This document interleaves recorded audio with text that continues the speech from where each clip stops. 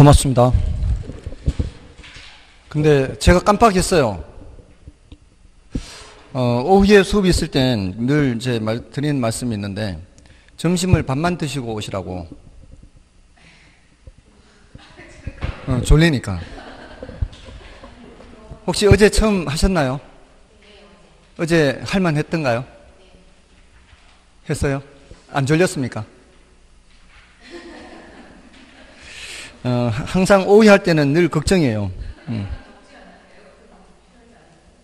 조금 더운 것 같긴 하죠. 근데 지금 에어컨이 되는지 안 되는지 모르겠네. 모르겠어요. 그거는 저도 잘 모르겠어요. 제가 한번 쉬는 시간에 한번 알아보겠습니다.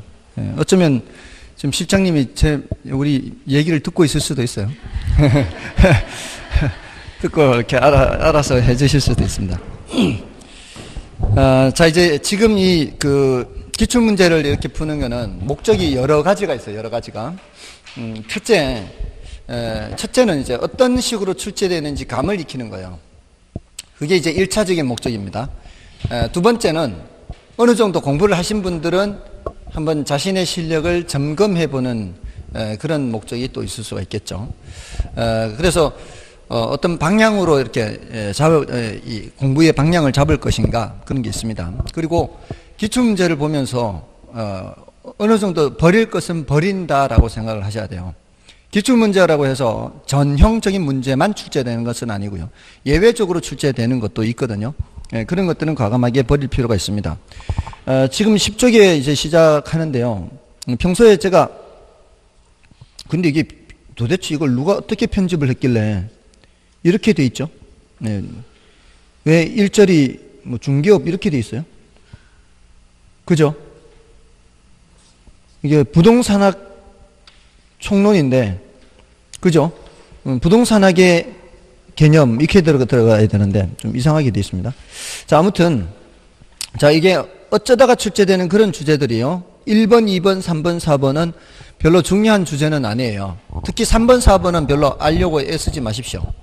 3번, 4번은 어쩌다 출제되는 그런 주제들이고요. 그거는 기억을 해놓는다 해서 그걸 반드시 맞출 수 있는 것도 아니에요. 그런 거는 투입 대비 산출 효과가 별로 없습니다. 그나마 1번, 2번은 그래도 한 번 정도는 들어보세요. 1번, 2번 평소에는 제가 수업 시간에 별로 말씀을 안 드리는 거죠. 근데 1번을 풀어드리면서 아, 설명을 드릴 때, 아, 뭐 이런 정도는 해두겠다. 이렇게 체크를 하시면 돼요. 자, 1번에 부동산에게 관한 설명으로 틀린 것은 1번에 과학을 순수과학과 응용과학으로 구분할 때 부동산학은 응용과학에 속한다. 이거는 맞는 말이죠. 예, 이제 순수과학이라고 하는 것은 뭐 물리학이나 천문학 또는 철학 이런 것들을 순수과학이라 그래요. 근데 예, 우리 부동산학은 현실의 문제를 해결하기 위한 학문이죠. 이런 학문을 응용과학이라고 하죠. 현실의 부동산 문제라는 게 있죠. 그 부동산 문제를 해결하기 위한 학문이 부동산학이다. 자, 그래서 맞고요. 다음에 부동산학의 연구 대상은 부동산 활동 및 부동산 현상을 포함하고요. 다음에 3번의 부동산학의 접근 방법 중 종합식 접근 방법은 부동산을 기술적, 경제적, 법률적 측면 등의 복합 개념으로 이해하여 이를 종합해서 이론을 구축하는 방법이다. 자, 우리 에, 종합식 접근이라고 하면 이제 연구 방법 중에요. 부동산을 연구하는 방법이에요. 네, 연구 방법이 부동산이라는 게 있지 않습니까? 부동산 활동 또는 부동산 현상 이런 게 있으면 이것을 연구하는 학문 분야는 굉장히 다양하죠. 예를 들어 건축학도 있고 토목학도 있고 또 경제학도 있고 경영학도 있고 예, 공법학도 있고 사법학도 있고 예, 여러 가지 분야의 학문들이 있어요. 이런 여러 가지 분야의 학문들이 다 부동산 연구합니다. 그죠? 자, 이렇게 각각의 학문 입장에서 다른 학문은 신경 쓰지 않고요. 각각의 학문 입장에서 이 부동산을 연구하는 것은 분산식 접근이라고 그래요. 분산식 접근. 그러니까 부동산학이라는 학문이 존재하기 전에 이런 것이었죠. 각각의 학문에서 부동산을 연구해요. 이거는 분산식 접근이라 하고요. 그 다음에 토목이나 건축 등등등 여러 분야, 경제, 경영 등등등 여러 분야 공법, 사법 여러 측면, 제도적인 측면 다 뭉뚱그려서 에, 비슷한 영역들끼리 하나를 묶죠. 이렇게 접근하는 것을 중점식 접근이라 그래요. 비슷한 영역은 한꺼번에 이제 연구를 한다는 거죠. 근데 이 세 가지 측면, 요걸 이제 기술적 측면, 요거는 경제적 측면, 요거는 법적인 측면 이렇게 표현을 해요. 그래서 세 가지 측면을 다 살펴보는 것을 종합식 접근 그러는 거예요. 그러니까 부동산 학이라고는 학문이 생겨난 거는 예, 이런 종합식 접근이 되어서야 부동산 학이라는 학문이 존재하게 됐다. 이렇게 보시면 돼요. 예, 그래서 3번은 이제 옳은 표현이고요. 다음에 부동산학은 다양한 학문과 연계되어 있다는 점에서 종합학문적 성격을 지닌다. 저런 게 다 관련돼 있잖아요. 저런 게 다 관련돼 있으니까 종합 학문입니다. 근데 이제 5번이 틀렸는데요. 에, 부동산학이 이건 뭐 중요한 건 아니에요, 사실은. 어쩌다가 이렇게 출제되는 주제라고 보시면 돼요. 그래서 부동산학의 일반 원칙으로서 안전성의 원칙은 소유 활동에 있어서 최유효 이용을 지도 원리로 하고 삼고 있다. 자, 한번 생각해 보세요. 안전성의 원칙이라는 거 하고요. 네, 최유효 이용. 자, 이거는 서로 개념이요. 상충하는 개념이요. 안전하게 하려면은, 어, 이런 효율을 따지는 것은 좀 문제가 있을 수 있죠. 네, 그래서, 어, 이거는 서로 상충하는 개념에서 지금 짝이 안 맞는 거예요. 소유 활동에 있어서 최유효 이용을 지도 원리로 삼는 것은 능률성의 원리라고 볼 수 있어요. 예, 그래서 여기 지금 안 맞는데, 요거는 해설을 보고 그냥 판단하는 정도? 뭐 그런 정도로 중요도가 낮은 주제다라고 보시면 돼요. 다음에 이제 2번은 2번 문제는 옳은 것을 모두 고른 것은 하고 있죠. 기억의 공중지표 지하를 포함하는 3차원 공간을 대상으로 전개한다. 요거는 맞죠. 부동산 활동. 다음에 사회성 공공성 있는 재산을 다루므로 거래 당사자는 윤리적으로 행동할 필요가 없으나 부동산 업자에게는 높은 윤리성이 요구된다. 어, 도덕시험 친다 생각하면 되죠. 예, 우린 도덕시험 치는 거예요.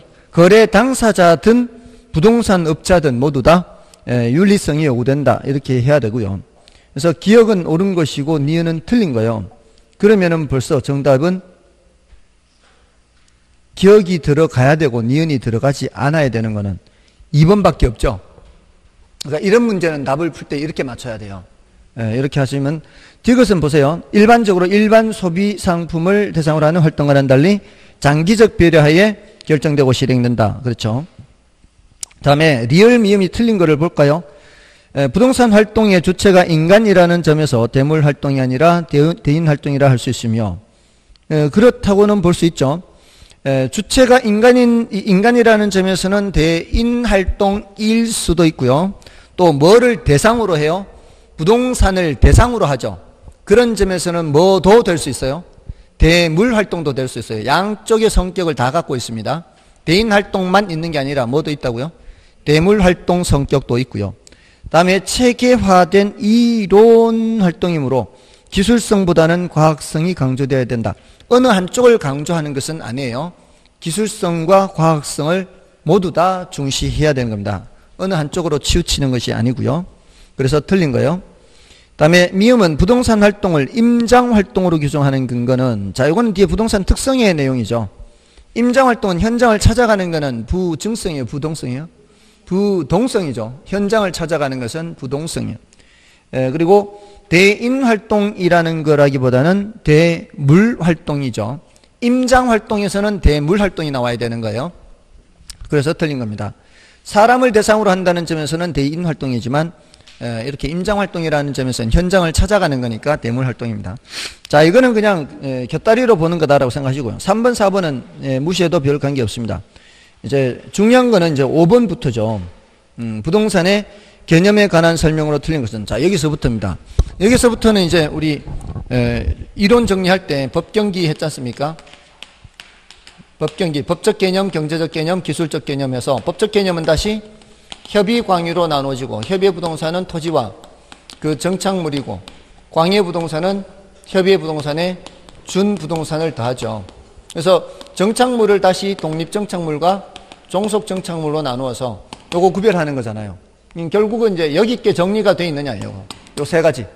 요 세 가지가 정리돼 있으면 나머지는 이건 단어 정리만 하면 되니까 결국은 요거 묻는 거 요거. 독립 정착물이냐, 종속 정착물이냐, 준부동산이냐. 그러니까 여기 키포인트예요. 자, 1번에 경제적 개념의 부동산은 자본, 자산으로서의 특성을 지닌다. 경제적 개념 여기 자본, 자산, 소비재, 상품 이런 단어들이죠. 그다음에 좁은 의미의 부동산 요 위에 있죠. 협의 부동산. 요거는 토지 및 그 정착물을 말하고요.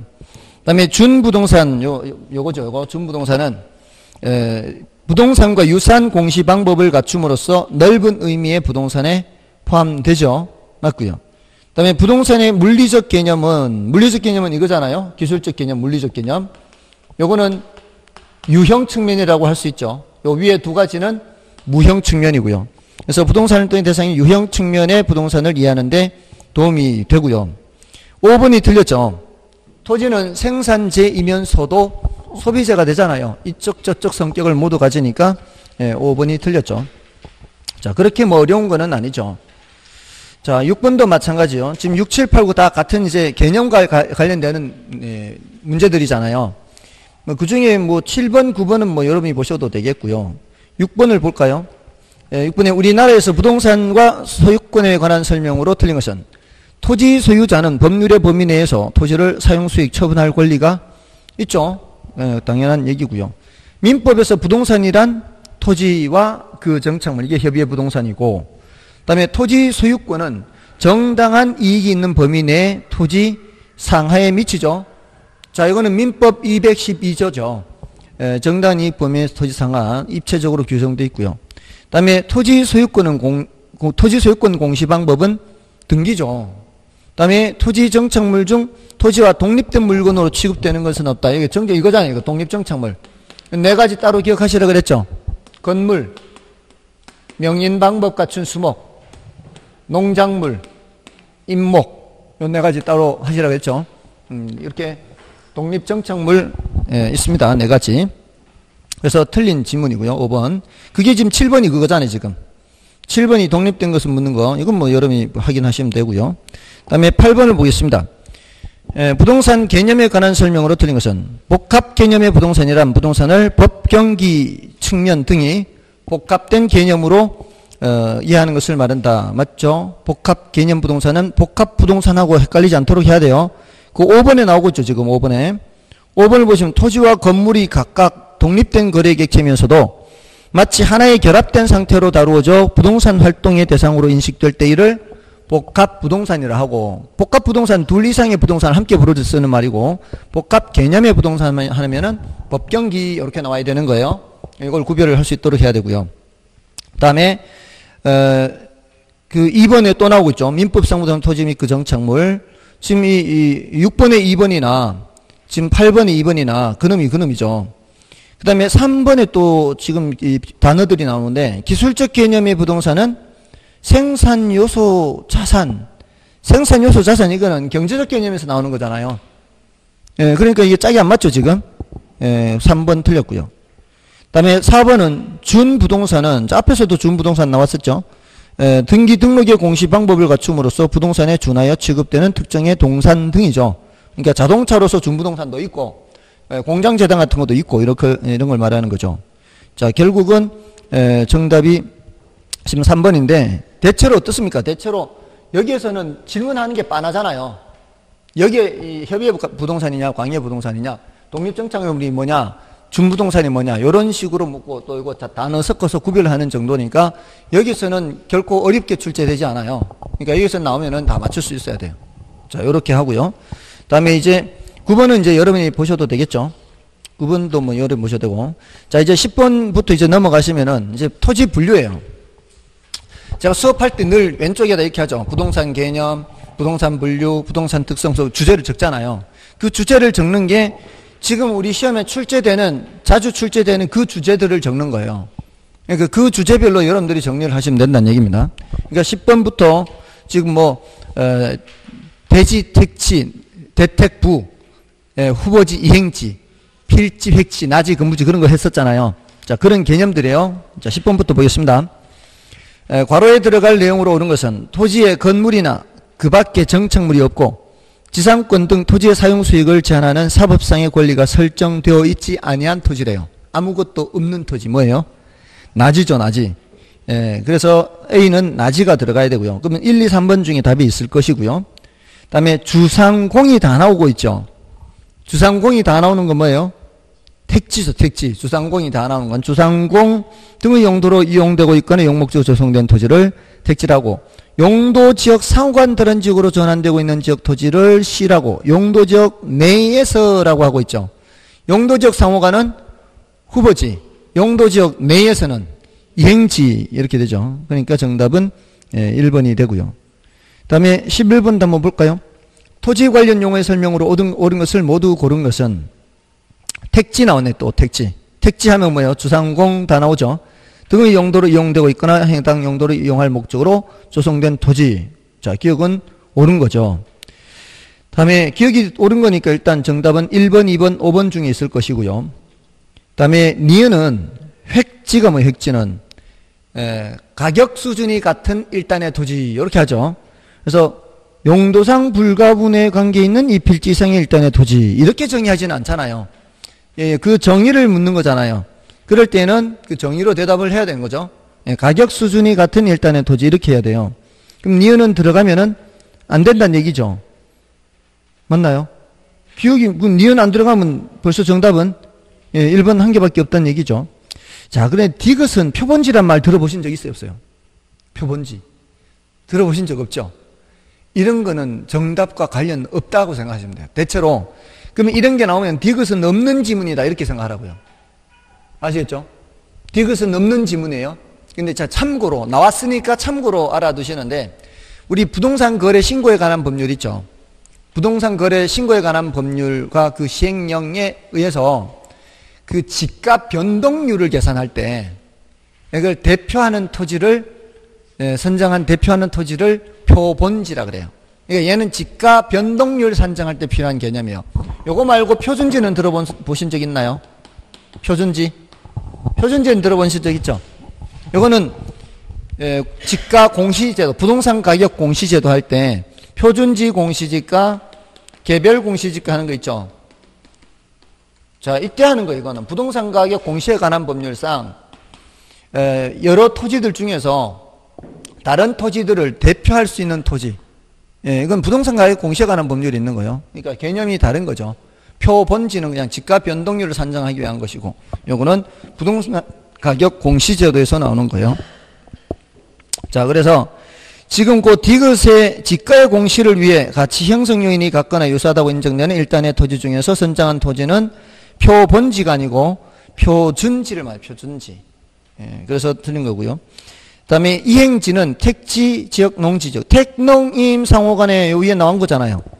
택농임 상호간에 전환 중인 것은 후보지가 되는 거죠. 예, 그래서 틀린 거죠. 정답은 1번이었고요.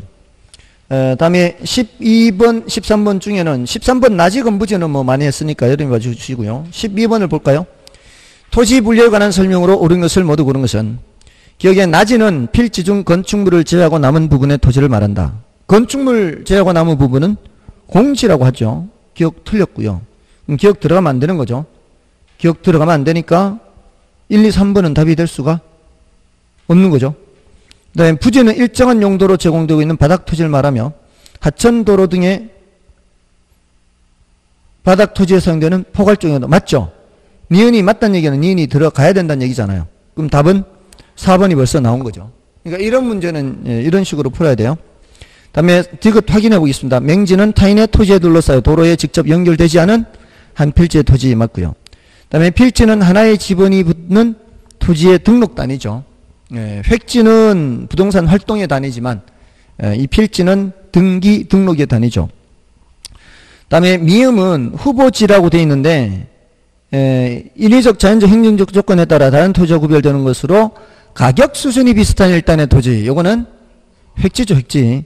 예, 그래서 어, 틀렸습니다. 대체로 여기는 안 어렵죠. 음, 여기는 다 맞출 수 있어야 돼요. 예, 여기 앞부분 그러니까 부동산 개념과 부동산 분류에서는 예, 맞출 수 있어야 되고요. 자 넘어가서 14, 15, 16 다 같은 비슷한 유형의 문제들이죠. 그 중에서 15번을 좀 보겠습니다. 15번.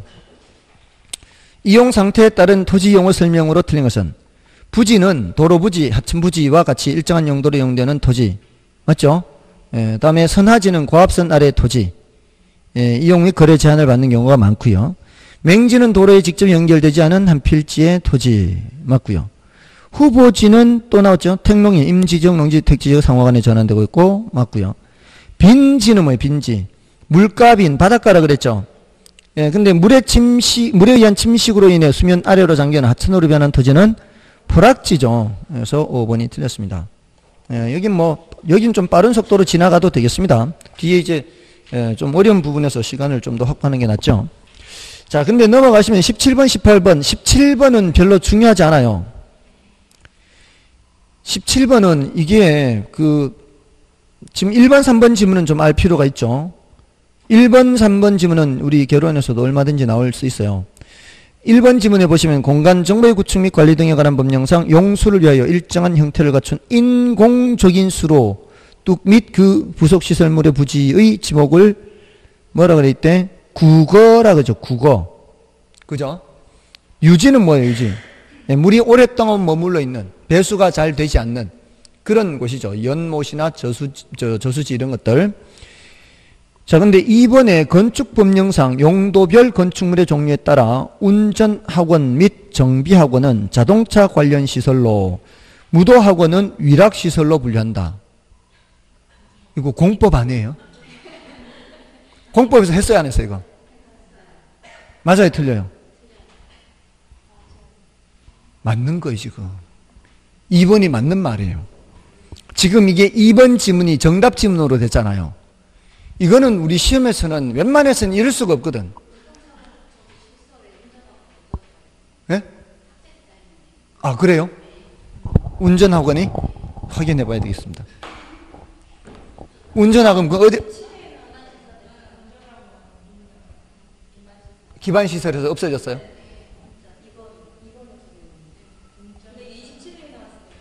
어, 그때 당시, 예, 예. 정비학원은 그대로 있고요. 어, 운전학원. 어, 요거 고맙습니다. 예, 확인, 그, 확인을 해야죠, 그렇게. 예, 근데 이게 출제가 됐을 당시에 깜짝 놀랐어요. 이 공법 문제잖아요. 근데 이거 말고도 두 개인가 더 있었어요. 공법 문제가. 근데 결혼 선생들이 공법을 가르칠 수가 없잖아요. 더군다나 공법에서 다루고 있는 분야잖아요. 공법에서 다루고 있는 분야이기 때문에 개론에서 출제할 거라고 예상하기가 어렵죠. 시험이라는 것은 예측 가능성이 있어야 되거든요. 근데 지금까지 한 번도 이렇게 출제한 적이 없었단 말이죠. 더군다나 공법에서 시험 범위에 들어가니까. 근데 이렇게 출제를 한 거예요. 그래서 이 신청했죠, 당연히. 근데 안 받아줬어요. 예, 안, 근데 이 신청을 안 받아줬어요. 시험, 그, 그 산업인력공단에서. 근데 그 사람들이 별로 반발이 별로 없어요. 이렇게 나왔는데 왜냐하면 대부분 2차를 같이 공부하니까 문제는 1차만 같이 하는 사람들이 문제였던 거죠. 1차만 하는 사람들. 이런 사람들은 이거 전혀 본 적이 없잖아요. 2차를 같이 하면 그래도 들어는 보는데 예, 그래서 예, 이 신청을 했거든요. 뭐 저기 행정소송 옛날에 행정소송 대법원 판례까지 해가지고 이 신청을 했어요. 그랬더니 그 다음 28일 작년 재정에는 별로 그런 게 많지, 그렇게 많이 안 나왔어요. 예, 아무튼 다시 한번 이렇게 나오면 강력하게 주장해야 돼. 그렇잖아. 이게 결혼해서 어떻게 이런 것까지 다룰 수 있어요. 예, 아무튼 문제가 있어요. 다음에 3번은 그래도 좀 알아야죠. 3번은 택농임 상호간에 이건 앞에 나왔던 거잖아요. 이거는 후보지인데 이행제라고 하고 있으니까. 그리고 보세요. 4번도 보세요. 4번 이거는 별로 중요한 거 아니란 말이에요. 결혼에서는. 됐나요? 그러니까 시, 신경 쓰시더라도 결혼에서는 1번, 3번만 보시면 되겠습니다. 그죠? 다음에 이제 18번, 19번, 20번은 이제 그 주택의 분류잖아요. 자, 주택의 분류에서는 19번 하나만 보겠습니다. 다 같은 유형의 문제니까. 에, 주택의 유형에 관한 설명 19번 하나로 대표하면 되겠습니다. 자, 1번에 연립주택은 주택으로 쓰는 한 개 동의 바닥 면적 합계가 660제곱미터 이하이고 층수가 3개층 이하이다. 연립주택은 규모가 큰 거잖아요. 660제곱미터 초과가 돼야 되죠. 음, 그래서 틀렸고요. 다음에 2번에 다가구 주택은 주택으로 쓰는 층수가 3개층 이하이며 다가구 주택은 단독이잖아요. 세개층 이하 맞잖아요. 한 개 동의 바닥 면적 합계가 330제곱미터 이하인 공동주택이다. 660제곱미터 이하라야 되죠. 그리고 공동주택이 아니고 단독주택이죠. 두 군데 틀렸어요, 지금. 그죠? 제가 수업할 때는 이렇게 했었죠. 예, 말 그대로 단독이 있고, 다 중이 있고, 다 가구가 있고, 여기에 다 세대, 여기가 연립, 여기가 아파트. 아, 물론 여기 공간은 따로 기억한다 그랬고요, 공간. 그리고 여기에 예, 기숙사가 있죠. 요거는 330제곱미터 이하잖아요. 요거는 660제곱미터 이하. 요것도 660제곱미터 이하. 그러니까 규모는 같다 그랬잖아요. 요건 660제곱미터 초과죠. 이거는 5계층 이상이고. 얘네들은 4계층이죠. 얘네들 3계층이잖아요. 이쪽으로 가면 갈수록 점점 규모가 커진다 그랬잖아요. 그래서 일단 규모는 얘네들은 같은데 얘는 4계층, 얘는 3계층. 요걸 이제 머릿속에 떠올리면 되겠죠. 그 왼쪽은 단독, 오른쪽은 공동. 에, 그래서 2번은 두 군데가 틀린 거예요. 에, 330이 아니라 660이고 공동주택이 아니라 단독주택이고 그 다음에 다세대 주택은 공동주택으로 들어가죠. 한 개 동의 바닥 면적 합계가 이것도 660이잖아요. 그리고 4계층 이하잖아요. 3번도 두 군데 틀렸죠. 그다음에 4번의 다중주택은 학생 또는 직장인 등 다수인이 장기간 거주할 수 있는 구조로서 독립된 주거 형태가 아니며 주택으로 쓰는 바닥 면적 합계가 330제곱미터 이하 층수가 3개층 이하인 주택이다. 여기에 맞는 거죠. 네, 다중주택이. 다음에 도시형 생활주택. 자, 이거 도시형 생활주택 들어본 적 있어요? 없어요? 별로 없죠? 어, 이런 것들은 참고입니다. 참고. 300세대 미만이에요. 350세대가 아니고 300세대 미만의 국민주택 규모로 대통령령으로 정하는 주택으로서 단지형 연립주택, 단지형 다세대주택, 원룸형 주택 등이 있습니다. 300세대 미만이에요. 참고로만 알고 계시면 돼요. 음, 20번도 같은 맥락이 문제니까 됐습니다. 넘어가시고요. 자, 이제 부동산의 특성 및 속성입니다. 자, 요거는 따로 공부하지 마시라 그랬죠. 저하고 같이 공부할 때 익히는 정도로만 하시라 그랬어요. 이거는 따로 공부하면 시간 낭비라 그랬어요. 자, 21번부터 보겠습니다. 어, 부동산은 다른 재화와 구별되는 독특한 특성들이 있으며 이러한 특성들로 인해 일반 시장과 구분된다. 이에 관한 설명으로 틀린 것은 에, 부동산은 부동성으로 인해 부동산 시장이 지역적 시장, 부동성 지역적 시장, 지역적 시장이 지역이 국지성이죠, 국지성. 지역 시장이 국지성이에요. 이게 국지성입니다. 지역마다 시장이 달라진다는 얘기 아니에요. 부동성은 국지 단골 손님이죠, 이게. 부동성의 국지성은 단골 손님이에요. 지역 시장 부분, 부분만 따로 있다.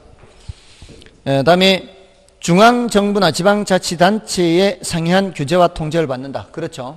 음, 지역별로 건폐율, 용적률 이런 것들이 다르고 뭐 어, 또 뭐 주차 면수 이런 것도 각각 다 다를 수가 있고요. 그다음에 부동성은 소모를 전제로 하는 재생산 이론이나 사고 방식을 적용할 수 없게 한다. 소모라는 거는 뭐하고 관계 있어요? 소모, 소모된다, 소모가 안 된다. 영속성이죠, 영속성. 소모를 전제로 하는 재생산 이론이나 사고방식을 적용할 수 없는 것은 부동성이 아니고 영속성, 영속성. 음, 달아 없어져야, 달아 없어져야 무슨 재생산을 할 거 아니에요. 그죠? 근데 달아 없어지지가 않으니까 재생산이라는 말을 쓸 수가 없는 거죠. 예, 그래서 그것은 에, 에, 틀린 말이고요. 다음에 3번에 부동산은 지리적 위치 고정으로 주변에서 일어나는 환경 조건의 변화가 부동산 가격에 영향을 주는 외부 효과를 발생시킬 수 있다. 자, 이거 무슨 외부? 특히 부의 외부 했었잖아요. 그 부동성의 외부 효과 했잖아요. 특히 부의 외부. 그래서 무슨 감가? 경제적 감가 했죠. 근데 이거는 요 말은 부동성에도 나올 수 있고 어디서 나올 수 있다 그랬어요. 인접성에서도 나올 수 있다 그랬죠. 자, 요렇게 이제 문제 풀면서 익히면 되는 거예요. 다음에 부증성으로 인해 공간 수요 입지 경쟁이 발생하기도 하고 자, 공간 수요 입지 경쟁이라는 게 뭐예요? 어떤 위치의 토지, 어떤 위치의 토지에 대해서 경쟁을 하는 거죠. 위치의 경, 입지 경쟁. 이 위치의 토지는 더 이상 있을 수가 있어요, 없어요? 이 위치의 토지는 이거 말고는 다른 게 없잖아요. 예, 생산할 수도 없잖아요. 그럼 어떤 위치의 토지를 예, 서로 경쟁하는 수밖에 없죠. 그러니까 땅값은 올라가게 되고 예, 맞는 말입니다. 다음에 개별성으로 인해 특정 부동산에 대한 시장 정보 수집이 어렵고 예, 거래 비용이 높아질 수 있다. 맞는 말이죠. 정보 수집이 어렵잖아요. 다 제각각이기 때문에. 그러니까 비표준화성도 마찬가지지. 비비비 하잖아요. 비표준화 비, 이 전부 다 개별성과 관련되죠. 비표준화성, 표준화가 안 된 거, 비공개성, 예, 다음에 비조직성. 얘네들이 대체로 어떤 성질과 관련이 있다고요? 개별성과 대체로 관련이 있죠. 그래서 표준화가 안 돼서 같은 게 없어요. 개별성으로 인해서. 대체가 안 되죠. 거래를 잘 공개를 안 하려고 해요. 그래서 정보 비용이 많이 발생해요. 이런 것들이 다 개별성과 관련이 된다는 겁니다. 예, 그래서 맞고요. 예, 정답은 예, 3번, 2번이었나요? 2번이었고. 예, 다음에 이제 22번도 함께 볼까요? 토지 특성에 관한 설명으로 틀린 것은 영속성으로 인해 원칙적으로 감가상각이 적용되지 않는다. 달아 없어지지 않죠? 맞죠? 이거는 여기서 말하는 거는 물리적 감가를 의미하는 거예요. 아무런 언급이 없으면. 근데 경제적 감가는 적용돼야 안 돼요. 경제적 감가는 적용되죠. 무슨 성질 때문에? 아까 했죠? 부 동성 또는 인접성 때문에 경제적 감가는 적용되는 거죠. 어, 오후 시간에 이렇게 수업을 해보신 적이 어제 말고 또 그 전에 최근에 없었죠? 그죠? 예, 점심 드시고 혹시 식곤증 같은 거 없나요? 식곤증 있으면 체조 한번 해볼까요? 혹시 졸리면 음, 졸리면 얼마든지 얘기하십시오. 에, 예, 제가 요즘 에, 어, 저도 사실은 마흔이 될 때까지 마흔 넘어서까지 운동이라는 것을 한 적이 별로 없는 사람인데 제가 마흔이 넘어서 이제 운동을 처음 이제 하게 된 거죠. 옛날에 20대 때 수영을 배우려고 배우러 가서 보름도 안 돼서 포기하고 나왔어요. 도저히 안 되더라고. 20대 때. 30대 때 또 시도를 했었어요. 근데 그때는 한 두 달은 갔어요, 두 달은. 두 달은 갔는데 결국은 포기를 한 거예요. 그래서 이제 40대 넘어서 또 마지막으로 이제 수영을 이제 시도를 했죠. 에, 그래서 드디어 성공했어요. 40대 때. 그래서 한 1년, 1년 3개월 동안 제가 수영을 1년 5개월인가 3개월, 어, 1년 3개월 동안 했다. 에, 그렇게 해서 드디어 이제 수영을 배우게 된 거예요. 근데 이제 더 이상 못 배운 게 대상포진에 걸려서 에, 너무 무리한 거예요. 왜냐하면은 그 당시에 제가 이제 서울에 집이 있었고 수도권에 수, 학원을 다니는 거였거든요. 그러니까 이제 지금처럼 지방을 다 다니는 게 아니라 매일같이 집에서 왔다 갔다 하니까 수영 강습을 받을 수가 있잖아요. 집 바로 옆에 이제 수영장이 있었으니까. 근데 거기 수영장에서 수험생분을 만난 거예요. 그 수영장 안에서 여자가 아니고 남자. 근데 그 남자 수, 그 수험생분이 제가 월수금 이제 나가잖아요. 근데 나가는데 얼마나 힘드는가 하면은 아침 6시 반에 일어나야 돼, 무조건. 그래서 눈도 안 떨어진 상태에서 넥타이 메고 씻, 얼굴도 씻지도 않고 나가야 돼요. 넥타이 메고. 왜냐하면 수영장 7시부터니까 끝나자마자 바로 이제 일하러 가야 되니까. 그러니까 굉장히 힘든 거죠, 사실은. 그리고 밤 10시 반에 수업 마치고 집에 다시 돌아오면은 거의 12시 되잖아요. 그러면 이제 원고 작업이나 하고 하면 막 어떤 때는 밤 2시에 잔단 말이에요. 근데 일어나는 거는 6시 반에 일어나야 되는 거예요. 그러니까 월수금 아침에 계속 6시 반에 이렇게 일어나갔는데 그 수험생분이 기왕이면 화목토에 에어로빅을 하라는 거예요. 저보고. 어, 아, 무슨 에어로빅이냐고, 남자가. 그랬더니, 아, 그, 남자 많다는 거예요, 그게. 그래서, 그래서 혹해가지고 또 갔죠, 그래서. 그러니까, 월수금 수영 6시 반, 화목토 에어로빅 6시 반. 이러니까 이제 두 달간 하는데 뭐 정신없는 거죠, 이제. 에어로빅을 갔는데 잘하는 사람들은 저 앞에 이제 이 거울 앞에서 하는데 옷도 막 다 차려입고요. 쫙 붙는 옷 있잖아요, 이렇게. 몸에 착 붙는 옷. 근데 못하는 사람들은 뒤에 서가지고 그냥 이렇게 대충대충 따라 하는 거죠. 근데 그 두 달을 했어요, 제가. 두 달을 했는데 그 두 달 동안 그 코치는 정말 저한테 딱 맞았어요. 에, 저는 이제 에어로빅보다는 그 시작하고 끝날 때 이 스트레칭을 하는데 그게 너무 좋았어요. 그 스트레칭 하는 게 요가 자세가 많았는가 봐요. 나중에 누가 그 요가에서 하면 한데. 근데 그게 길고 또 에어로빅 할 때 이게 이 박자가 좀 속도가 늦었어요. 속도가 늦으니까 이제 어느 시간에는 따라는 했는데 두 달 만에 이제 코치가 바뀌었는데 이게 속도가 너무 빠른 거 이게. 속도가 너무 빠르고 또 이 스트레칭도 별로 안 해. 그래가지고 이제 예, 포기를 했죠. 근데 그 포기할 때쯤 몸에 이상이 생긴 거죠. 너무 무리한 거예요. 대상포진이 생겨가지고. 여기가 칼날 되는 것이 아파요. 칼날 되듯이. 옷을 이렇게, 이 셔틀 입잖아요. 셔틀 입은 소매가 이렇게, 이렇게, 뭐, 이렇게 닿잖아요. 이렇게, 이렇게. 이 옷하고 살결이 닿는 부위가 이쪽으로 가면서 이 칼날로 자르는 것 같이 그렇게 아픈 거예요. 그래서 병원에 갔더니만 대상포진이라고 아무것도 하지 말해. 일도 하지 말해. 일하는 먹고 살 수 없잖아요. 그러니까 일은 했는데 이제 아무튼 수영은 그만뒀죠. 그 길로 수영을 그만둔 거예요. 예, 아무튼 그래도 1년 몇 개월 배웠으니까 이제 까먹지 않을 정도는 배운 거죠. 예, 근데 딱 저병 들어갈 때 그만둬가지고 저병을 아직도 못해요. 예, 딱 그래서 지금 자유형하고 평형밖에 안 해요. 배영은 이제 별로 하기 싫고 자유형하고 평형만. 그래도 좀 운동은 그래도 해요. 자, 이제 예, 진도 나가겠습니다. 자, 아무튼 22번 예, 1번은 그렇고요. 2번은 부동성으로 인해 부동산 활동이 국지화된다. 부동성, 국지, 단골 손님이라 그랬죠. 그 다음에 부증성으로 인해 토지형이 집약. 집약이란 단어 알아야죠. 집약이 뭐예요, 집약? 집약적 이용하면 뭐예요?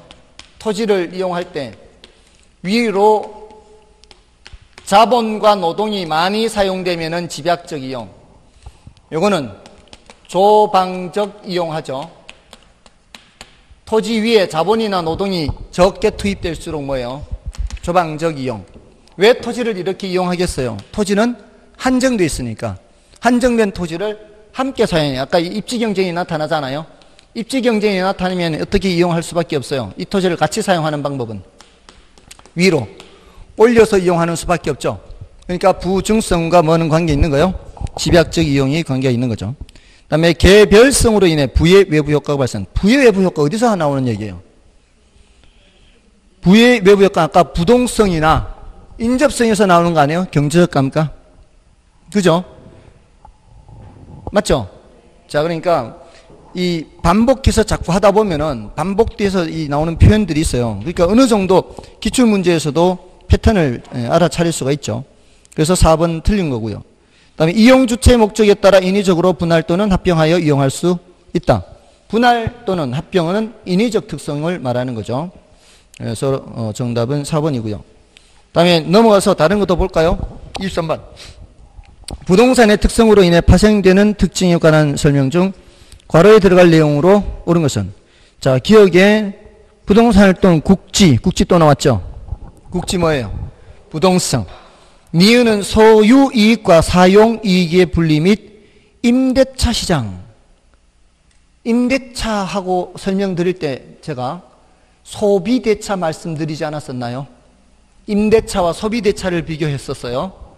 소비대차는 단용제, 한 번 쓰면 없어져 버리는 물건이 소비대차. 임대차는 빌린 물건으로 되돌려주는 거죠. 소비대차는 쌀 소비대차, 연탄 소비대차. 이거는 빌린 물건으로 못 돌려주잖아요. 그건 써버렸을 테니까. 동종, 동질, 동량의 다른 물건을 사서 갚아야 되는 거고, 임대차는 빌린 그 물건으로 돌려주는 거죠. 그건 뭐예요? 내구재산, 내구재. 내구재라는 게 뭐예요? 여러 번 쓰는 물건. 부동산 특성에서 여러 번 쓰는 물건과 관련 있는 게 뭐예요? 영속성, 영속성. 소유이익이 바로 자본이득이에요. 사용이익은 소득이득이고 우리가 사용으로부터 얻을 수 있잖아 이익을. 근데 우리가 내가 직접 사용하지 않고 다른 사람이 사용하게 하는 대신에 뭐를 받아요? 임대료 받잖아요. 그러니까 사용 이익은 뭐로 연결하면 돼요? 임대료 수입으로 연결하면 된다고요. 그, 그런 대신에, 자, 다른 사람이 사용하게 해도 소유권은 누구한테 있어요? 나한테 있죠. 그 기간 동안에 가격이 올라가면은 그게 사용하는 사람 거에 내 거예요. 내 거잖아요. 그건 소유함으로써 얻는 이익. 자본이득. 사용으로 얻는 이익. 소득이득. 됐나요? 전부 다 뭐와 관련돼요? 임대차와 관련 있잖아요. 이거 무슨 성질? 영속성이라고요. 다음에 디귿은 최유효 이용의 성립 근거가 되며 자 최유효 이용은 두 가지를 생각해야 돼요. 최유효 이용은 하나는 부증성, 하나는 용도 다양성이에요. 그러니까 용도 다양성에서 주로 최유효 이용이 나와요. 최유효 이용에 포함된 개념은 두 가지예요. 여기는 효율적 이용이라는 게 있죠. 희소한 자원의 효율적이에요. 희소한 자원. 희소한 자원. 한정된 자원의 효율적 이용이라는 측면은 요거는 부증성 때문에 부증성. 이 토지라는 자원은 음, 가뜩이나 이제 희소한 자원이니까 가능한 한 효율적으로 이용해야 되잖아요. 그 다음에 또 뭐 있어요? 여러 용도 중에서 여러 용도 중 가장 잘 이용하는 거 아니에요. 그러니까 무슨 성질도 관련 있어요? 용도, 다양성도 관련되죠. 이 두 가지가 다 가능해요. 근데 주로 나오는 거는 용도 다양성에서 주로 더 많이 언급해요. 용도가 한 개밖에 없으면 고민할 이유가 있어요, 없어요? 용도가 한 개밖에 없으면 고민할 이유가 없잖아요. 자, 그런데 지금 거기 최유효 성립 근거가 이제 용도 다양성도 있고 부증성도 있는데 기역 니은이 지금 확인이 됐잖아요. 기역은 부동성, 니은은 영속성이면 어 1번이 끝났나? 1번인가요? 네, 1번인가 보네요. 에, 리얼은 개별성인가요? 개별성은 대상 부동산과 다른 부동산의 비교를 어렵게 하고 대체 관계를 제외한다. 예, 개별성이고요. 그래서 1번. 에, 다음에 23번에 또 나오잖아요. 에, 다음 설명에 모두 관련 있는 것은 집약. 아까 집약 나왔잖아요. 집약이 뭐였어요? 부증성. 부증성 때문에 공급 조절이 잘 안 되고 소유욕구 증대시키고 뭐 어렵지 않잖아요. 자, 넘어가셔서 다른 것도 더 보겠습니다. 토지의 자연적 특성으로 인해 발생되는 예, 부동산 활동과 현상에 관한 설명으로 틀린 것은 자, 여기서 25번의 1번 지문은 어려워요. 26번의 4번 지문에 똑같은 내용이 있어요. 25번의 1번 지문과 26번의 4번 지문 똑같은 내용이 있죠. 토지의 부중성은 지대 또는 지가를 발생시키며 최유효 이용에 근거가 된다. 어렵잖아요. 어떻게 해요? 일단 패스. 이게 어려운 게 나오면 일단 패스하라고요. 다음에 토지의 개별성은 부동산 활동과 현상을 개별화시킨다. 이거는 어렵지 않죠. 맞는 말이고요. 다음에 토지의 부동성은 지방자치단체 운영을 위한 부동산 조세 수입의 근거가 될 수 있다. 재산세 있잖아요. 재산세. 이건 지방자치단체 세잖아요. 지방세. 그다음에 토지 영속성은 미래 수익을 가정하고 가치를 평가하는 직접 환원법의 적용을 가능하게 한다. 어렵죠, 이거? 뭔 소리인지 모르잖아요? 그럼 패스. 다음에 토지의 부증성으로 인해 이용 전환을 통한 토지의 용도적 공급을 더 이상 늘릴 수 없다. 토지의 용도적 공급을 늘릴 수 없는 것은 아니죠. 용도적 공급은 늘릴 수 있어요, 없어요? 늘릴 수 있잖아요. 그건 무슨 성 때문에? 용도 다양성으로 인해서 용도적 공급을 늘릴 수는 있습니다. 예, 그래서 틀렸죠. 자, 5번이 틀린 거예요. 자, 그럼 결국 이제 과제가 남아있는 게 1번, 4번 지문이잖아요. 이런 지문은 어렵잖아요. 그러니까 이런 어려운 지문은 제가 한번 설명을 드릴 테니까 그럴 때 들어보고, 아, 그럴듯하면 이제 예, 이해하고 지나가면 되는 거. 안 그러면은 너무 신경 쓸 필요 없단 말이에요. 지금 1번이나 4번, 저, 저, 25번에 1번이나 26번에 4번이 지금 같은 내용이에요. 같은 내용인데 이게 왜 어려운가 하면은 지대 또는 지가를 발생시킨다 이렇게 있잖아요. 지대 또는 지가. 이게 다 가치를 발생시킨다는 거거든요. 가치를 발생시킨다 이거예요. 자, 가치를 발생시킨다는 거는 뒤에 감정 평가론에 나와요. 가치 발생 요인이 있어요. 가치 발생 요인. 가치 발생 요인은 효상유해서 효용성, 상대적 희소성, 유효 수요가 있어요. 가치를 발생시키는 요인에 동생 이름 효상유 기억나시나요? 형 이름 일지계. 음, 그때 그 여기 동생 이름에 상대적 희소성 있죠. 이 희소성이 바로 부증성과 관련되는 거예요. 희소성 때문에. 그러니까 지대 또는 지가를 발생시킨다. 이게 상당히 깊이 있는 내용을 묻고 있는 거죠. 여기까지 생각하기 쉽지 않아요. 그러니까 아, 이런 게 있나 보다 하고 그냥 패스해야 되는 거예요. 대신 최유효 이용은 아까도 얘기했죠, 이거. 부중성에서도 뭐를 얘기할 수 있어요? 부중성에서도 최유효 이용은 얘기할 수 있어요. 그 정도는 봐두시고 지대 또는 지가를 발생시킨다. 이거는 거의 암기하는 수준밖에 안 될 겁니다. 아무리 설명을 해도. 이거는 원래 이제 어렵다 보면 되고요. 다음에 25번의 4번 지문도 어려워요.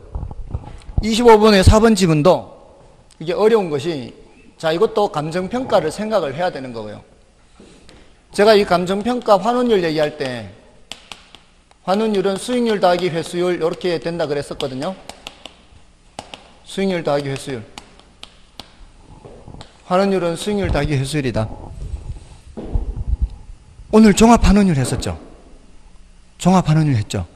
그 종합 환원율이 어떻게 계산하는 거였어요? 종합 환원율이 어떻게 계산하는 거였어요? 총 투자액분의 총 종지후 두 번째잖아, 두 번째.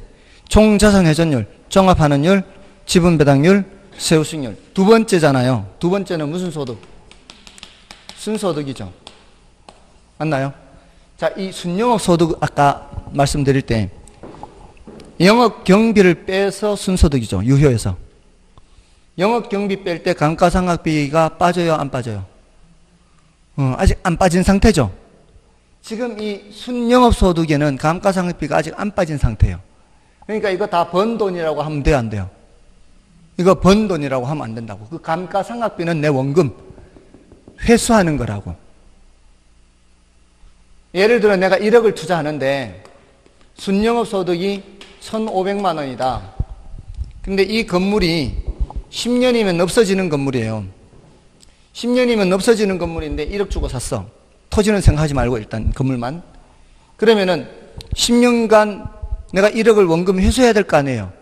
그 원금 회수하는 돈이 여기 안에 들어있는 상태다 이 말이에요. 그러니까 1억분에 500만 원만 버는 돈이고 1000만 원은 감가상각비 원금 회수하는 거라고요. 이걸 다 번 돈이라고 하면 돼요, 안 돼요? 15%를 다 번 돈이라고 하면 안 된다고. 그러니까 환원율이 어림셈법의 수익률이었죠. 정확한 수익률이 아니다 이 말이에요. 그럼 이거는 1억 분의 500 하면은 이게 수익률이 되는 거고 수익률 5% 1억 분의 1000 하면은 원금 회수율 10% 이렇게 해서 몇 년간 회수를 해야 10년간 회수를 해야 1억 원금을 회수하는 거예요. 이게 감가상각비거든요. 감가상각비. 감가상각비. 자, 그러니까 항상 항상 환원율은 뭐 더하기 뭐라고 생각을 해야 돼 일단 원칙이 수익률 더하기 회수율이에요. 이거 뒤에 감정평가서 수익환원법에서는 굉장히 중요한 거예요. 근데 이걸 이제 방금 건물이라고 했잖아요. 토지의 경우는 어떻게 돼요? 토지. 토지는 달아 없어져요? 안 없어져요? 안 없어지죠. 무슨 성질 때문에? 토지가 달아 없어지지 않는 건 뭔 성질이에요? 영속성 때문에. 영속성 때문에 토지는 이거를 생각할 필요 있어요, 없어요? 어, 이걸 생각할 필요가 없어, 회수율을. 그렇게 해서 적용하는 것을 직접 하는 법이라 그래요. 직접 하는 법. 그러니까 어렵죠. 이것까지 생각을 다 해야 되니까. 자, 그러니까 한번 이런 걸 설명 들으면서 아, 토지의 경우는 회수율을 고려하지 않아도 되는구나. 이런 것만 기억하면 돼. 이게, 이거는 어려워요. 이런 거 물으면은 대답할 사람 별로 없어요. 아시겠죠? 그러니까 이런 것들은 나올 때 한번 설명 듣고 지나가는 정도로 하고, 나머지 것들 있죠, 나머지 것들. 나머지 것들 위주로 기억한다라고 생각하시면 된다고요. 됐나요? 에, 그래서 25번 정답이, 정답이 뭐, 몇 번이었어요? 정답은 5번이잖아요. 근데 이 정도는 맞출 수 있어야 돼요. 5번 지문 정도는. 예, 요거는 약간 난이도가 높기는 해도 요 정도는 맞춰야 돼요. 그럼 26번은요. 26번은 부동산의 자연적 특성 중 부증성에 관한 설명을 틀린 것은 토지는 다른 생산물처럼 노동이나 생산비를 투입하여 순수한 그 자체의 양을 늘릴 수 없죠. 자연물인 토지는 유한하여 토지 소유, 어, 토지 독성 수익 발생시키고요. 다음에 매립이나 산지, 개간을 통한 농지나 택지의 확대는 부증성의 예외이다. 부증성은 예외가 있다, 없다. 부증성은 절대로 예외가 없다고요. 예, 절대로 물리적인 양을 증가시킬 수는 없어요. 그래서 틀린 거고요. 다음에 5번에 부증성이 기인한 특정 토지의 희소성은 공간 수요 입지 경쟁을 유발시킨다. 그렇죠. 예, 그 토지를 이제 차지하려고 서로 경쟁을 하는 거죠. 예, 그래서 정답은 3번이고요. 27번은 뭘까요? 자본이득도 나오네요. 자본이득. 운용이득. 이런 거는 뭐예요? 영속성이죠. 영속성. 그럼 됐고. 자, 이제 마지막 두 개만, 두 개인데, 뭐 28번은 별로 어렵지는 않을 거고요. 28번 A 아파트 인근 지역에 공원이 새롭게 조성되고 대형마트가 들어서서 A 아파트의 가격이 상승했다면 이러한 현상은 부동산의 자연적 인문적 특성 중 어떤 특성에 의한 것인가? 일단 자연적 특성으로는 부동성 외에는 없잖아요. 옆에 들어섰으니까. 그죠? 그 다음에 인문적 특성은 위치, 가변성이죠. 지금까지 상대적으로 덜 좋던 위치가 상대적으로 이제 더 좋은 위치가 돼버린 거 아니에요. 예, 인문적 위치는 변한다는 거 아니에요. 그러니까 2번밖에 더 없는 거죠. 맞나요? 옆에 쓰레기 소각장 생겼을 때도 집값 떨어지는 이유는 부동성 때문 아니에요. 부동성 인접성 때문에. 옆에 이런 게 들어서가 아파트 가격이 올라가는 것도 반대로 부동성 인접성 때문이죠. 다음에 29번은 볼까요? 영속성에 관한 설명으로 옳은 것을 모두 고른 것은 토지의 집약적 이용과 토지 부족 문제 근거된다. 집약적 또 나왔네. 아, 아까 어디서 나왔어요? 부증성. 지금 보면은 반복해서 나오고 있잖아요. 이런 것들이 예, 문제 풀면서 되기 때문에 따로 공부를 할 필요가 없는 거예요. 소모를 전제하는 또 나왔네 이거. 소모를 전제하는 재생산 이론이 적용되지 않는 거는 영속성이잖아요. 다음에 임장 활동 나왔네요. 현장을 찾아가는 활동. 부동성이죠. 지역 분석도 마찬가지. 일물 일가 법칙 배제되는 건 뭐예요? 대체가 안 되는 거. 이거는 개별성이잖아요. 맞나요? 안 개별성. 다음에 부동산 활동을 장기 배려, 가치 보존력 우수. 이거는 뭐예요? 영속성이 되죠. 장기 이런 말이 나오는 거는. 그래서 영속성과 관련되는 것은 어, 니은과 미음인가요? 그죠? 자, 그러니까 혹시라도 여러분들이 모의고사 같은 걸 보시더라도 이렇게 부동산 특성에 대해서는 혹시라도 틀려도 더 이상 신경 쓰지 마세요. 그냥 이 문제풀이에서 예, 만족하는 것이 제일 상책이에요. 예, 차라리 다른 데 시간을 쏟는 게 낫습니다. 좀 쉬고요. 이제 경제론 들어가겠습니다.